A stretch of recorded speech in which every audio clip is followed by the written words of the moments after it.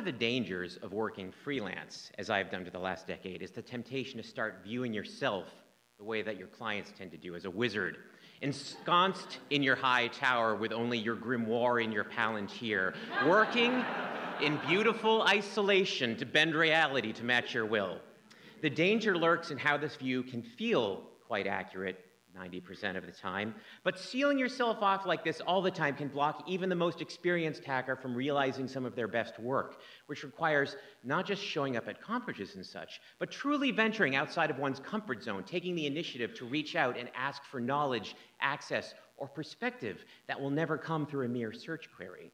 In November 2015, I noticed that the Flight Radar iPhone app somehow knew ahead of time that the plane I sat on would take a slight left turn over Atlanta, implying that the app had access to commercial flight plans. In a flash, I saw that if I could somehow get this data too, then I could write my own app, one that would use weather data, such as that used by NOAA to generate maps like this, to predict turbulence location and intensity during flights, a boon to nervous flyers like me.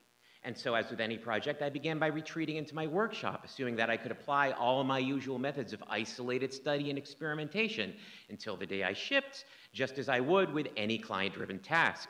Obviously, I would need access to two data sources one for weather conditions and one for flight routes. My idea being that for a given flight, I would just run the latter through the former and show you the numbers somehow. And my natural introverted starting point was let's find the public APIs. Surely there are public APIs. Oh, I started with the flight plans, and to my surprise, I didn't find any obvious APIs offered by the FAA, even though I had a notion that flight plans were public information. I did quickly find a commercial API offered by a company called FlightAware, which offered me exactly the information I wanted for the low, low price of two tenths of a cent per query. Okay, so noted. Put that aside for now. NOAA, they have public APIs. One even involves air turbulence. It is a lot of fun. You can give it a path of geographical fixes and a timestamp, and it'll send you XML telling you all about the AIRMETs along the way. AIRMETs look like this. They're big old irregular polyhedra floating in the air with floors and ceilings defined at certain altitudes. They define a 3D space that contain an increased likelihood of atmospheric conditions for aircraft passing through them, including turbulence. Sounds perfect. And I drafted a prototype out of it and some friends tested it, but it was clearly too broad to be a useful predictor of anything from a passenger's perspective. What I wanted was something like this NOAA's graphical turbulence display, which I've used as part of my own pre flight meditation for many years. And friends, I sunk many serious hours into the puzzle of downloading and analyzing these images pixel by pixel before I even began to consider the possibility of doing something with those contact links down at the bottom. Now, my wife is a public servant. That's her on the left. Uh, she works as a like. She works as a librarian for the US Navy, and upon hearing my image analysis woes, she said, You know, that contact form is probably monitored by someone who cares deeply about their work, seldom hears honest curiosity about it, and who would be absolutely delighted to hear from a member of the tax-paying public for whom they ostensibly labor. This struck me as counterintuitive given my own typical private sector response to unsolicited requests for attention from strangers. But I like to think I know when to defer to experts. And so I filled out that contact form. Feeling optimistic about the AirMet API, I asked if they made their graphical turbulence data available in some plaintext format, XML, maybe JSON. And I got a response almost immediately.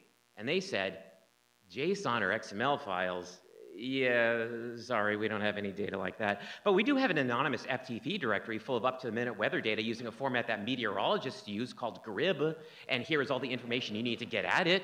Would that be useful? And I said, I will let you know.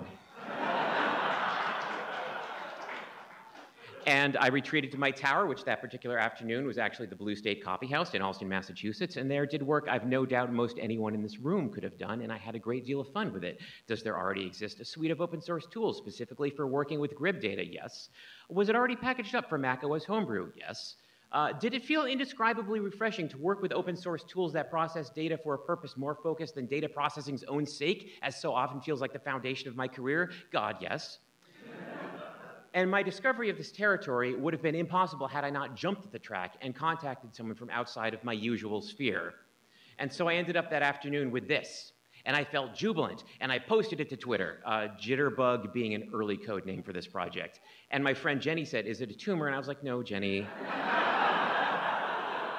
but yeah, okay, I didn't really provide any context, so that's fair. But no, it's, it's CONUS, it's the continental United States, or rather a slice of the atmosphere above it, or rather a forecast of clear turbulence intensities at a particular altitude at a particular minute on January 16, 2016.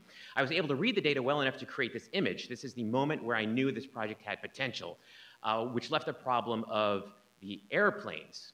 I had enough of that given uh, takeoff and landing times and a line of navigational fixes, I could estimate what conditions surrounded the plane at any given point on its journey. But asking users to look up and type in nav codes of their upcoming flight versus just a flight number was a non-starter. As an aside, I learned a lot about aeronautical uh, navigation points for this project and how there's no good public database for them all. But you can fake it well enough by downloading the free trial of the super nerdy X-Plane flight simulator and rating its data text files. but that is a tale for another time. Back to my tower, which I wasn't ready to leave again just yet. Uh, I returned to my old friends at FlightAware. They have the commercial API, and I wrote a screen scraper of their web app, which, among other things, turns flight numbers into nav paths. Uh, this would not scale to production, but it did let me complete my proof of concept, of which me and some friends were the only users, and yes, that's plotted against an Apple Maps screen grab. It was there and it was good enough. But now progress slowed down. Never have I felt so close to another soul, writes Randall Munroe in XKCD 979, and yet so helplessly alone is when I Google an error and there's one result, a thread by someone with the same problem and no answer last posted to in 2003. Naturally, I wasn't the only jerk on the internet who wanted FAA data and indeed found many instances of people asking but no clear answers. I did find some tantalizing, almost rumor level pointers in multiple years old forum posts that link to the same URL. And clearly, there used to be a website there. But now, it just held a 2011 press release describing a random policy change like a fading concert flyer tacked to an old warehouse. However, it had an acronym I had not seen before, ASDI, and a reference to something called the FAA ASDI data feed, and that gave me another handle to search on. And I found, for example, this document listing users of ASDI, whatever it was, which included our, my friends at FlightAware. Okay, right track. I'd also seen mention of this Class 1 versus Class 2 designation, which would come in handy later. Finally, I found this PDF sitting in a directory containing no index files and on an FAA website otherwise dedicated to flight delays that search engines had indexed it bespoke a dignified past for the document, and I could only assume its continued existence and organizational oversight. I did not let that stop me. I had learned my lesson earlier. I wrote that email address printed on it. Like a tourist speaking from a phrase book, I pieced together vocabulary I had encountered but not necessarily fully understood, and I said, Hello. I would like to request information about obtaining Class 2 direct access to the FAA's ASDI data stream. A week later, I got a response, and it said, ASDI, we retired that. Have you checked data.faa.gov? you know, the website we have that is literally covered in giant green buttons, the very first one of which is labeled en route flight and related data. and I said, How is your robots.txt file? You know what? Never mind. Thank you. And friends, I hit that button. And within days, I had an assigned contact within the FAA to help set me up with its full fire hose of flight plan and aircraft positional data. And there began a months long adventure of personal growth, both as a hacker and as an entrepreneur, that lies far outside the bounds of this talk. At the end of it, and indeed at the end of last year, I launched bumpyskies.com, braiding together all of this work. The service feels like a stub to me, full of potential, and I, I don't know where it'll go next. But I do know that it wouldn't have gone anywhere had I not forced myself, needing access to tools, to just ask for them.